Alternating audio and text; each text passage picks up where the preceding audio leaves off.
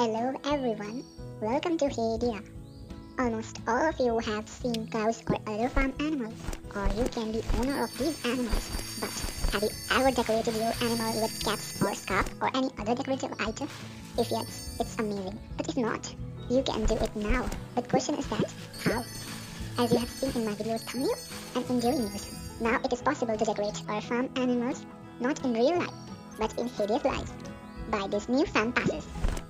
Season we get new hats, and they are yours to keep even after the farm pass season is over.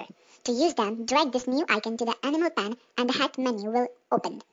You can put hats on selected animals. Here you can also see season outfits like summer outfit or winter outfit and choose whatever suits your fancy. And don't forget that an animal can only wear one accessory at a time. I hope you find this information useful, so do subscribe, like and share. Meet you in next video. Keep watching videos.